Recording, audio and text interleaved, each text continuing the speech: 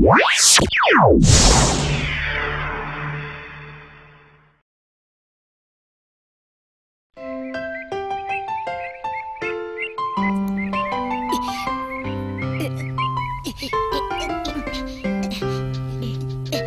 teman-teman, kita balapan yuk.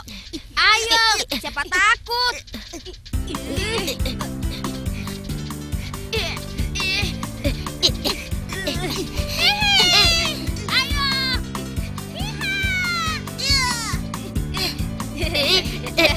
Hore, aku yang paling depan. Eh, mau mengalahkan Dodo ya?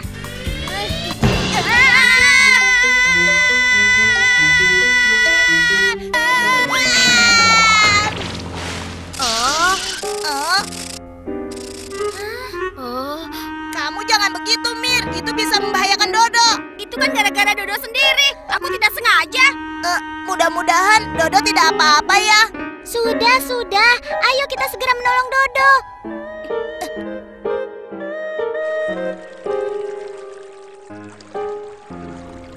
Eh, Hah? Di mana dia? Kok Dodo tidak muncul-muncul sih? Jangan-jangan. iya, jangan-jangan Dodo tenggelam. Aduh, teman-teman, bagaimana nih? Dodo, kamu tidak apa-apa kan? Dodo, Dodo, kamu di mana? Dodo, Dodo. Aduh, bagaimana nih? Sudah, Mir. Kamu nyebur aja. Eh, maaf teman-teman, aku tidak bisa berenang.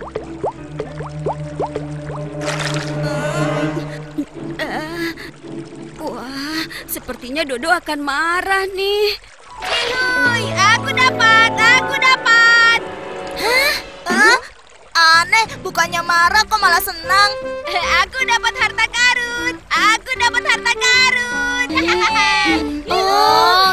Sebabnya dia senang. asik asik. dapat harta karun asik. Kita kebagian kan, Dok? Iya, bagi kami dong, Dok. Enak aja. Ini kan Dodo yang menemukan. Berarti harta ini sepenuhnya milik Dodo. Kalau aku dibagi kan, Dok. Kan gara-gara aku sehingga kamu dapat harta karun itu. Tidak ada bagian-bagian, apa pun alasannya. Ya, Dodo pelit. Kamu tidak boleh pelit, Do. Nanti kamu bisa seperti Korun loh.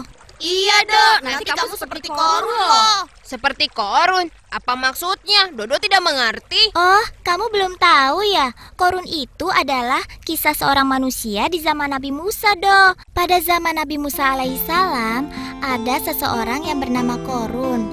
Awalnya, Korun adalah seorang pengikut Nabi Musa alaihissalam yang sangat taat ibadah. Karena sibuk dengan ibadah, Korun tidak begitu peduli dengan masalah duniawi. Alhasil, Korun dan keluarganya hidup serba kekurangan. Suatu hari, datanglah dua orang prajurit kerajaan ke rumah Korun dengan membawa sebuah peti berisi perhiasan dan keping-keping emas. Dengan maksud ingin melemahkan keimanan Korun.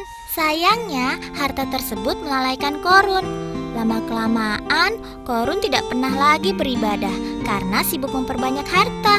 Dan akhirnya menjadi orang yang sangat kaya raya.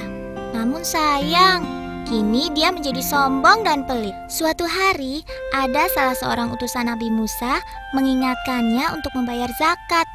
Rasa kikirnya muncul. Ah, sudah pergi sana. Aku tidak mau bayar zakat. Korun memfitnah Nabi Musa. Bahkan dia merencanakan untuk mencelakai Nabi Musa. Mengetahui perbuatan Korun, Nabi Musa menjadi marah. Dan Nabi Musa pun berdoa pada Allah. Lalu atas kehendak Allah, bumi di mana Korun dan pengikutnya berpijak menjadi bergetar, kemudian membelah, dan akhirnya menelan Korun dan pengikutnya serta seluruh harta kekayaannya. Nah, kamu tidak mau seperti Korun kan? Ya tentu Dodo tidak mau. Dodo kan anak yang soleh. Berarti kamu mau berbagi untuk kita dong. Hmm, tidak juga. uh, Dodo memang pelit. Kalau tidak mau membagi ya sudah. Cuma kita ingin tahu dong, apa sih isinya? Wah, ini pasti barang berharga. Dodo akan buka. Perhatikan baik-baik ya. Ah, isinya cuma sampah. Ah,